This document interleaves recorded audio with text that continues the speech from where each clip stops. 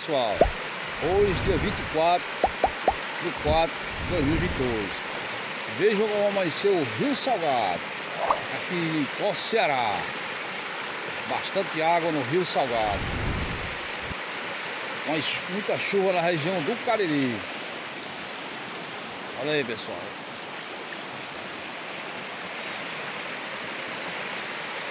Essa água é toda para a barragem do Castanhão. Olha lá onde que quer carneiro, vou aproximar aqui, ó, como é que tá lá, ó. Vejam como essas águas aumentou, pessoal. Que maravilha. O Castanhão, a barragem do Castanhão vai receber muita água nesses próximos dias. Hein?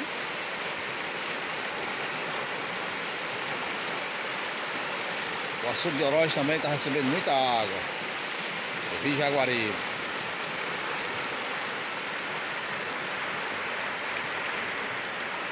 E amanhecendo aqui na cidade de Có, Ceará. Eita, Rio Salgado Valete. Eu acredito que hoje já chegando à noitinha esse rio vai ter muita água, viu?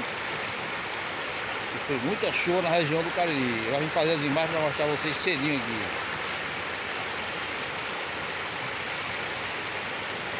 Água com bastante força, ó.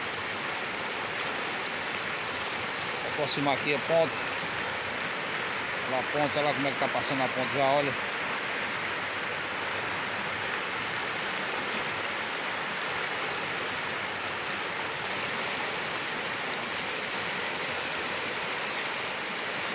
Agradecer a Deus por essas águas, né? E muita chuva no nosso Ceará. Agradecer muito a Deus. Obrigado, meu Deus.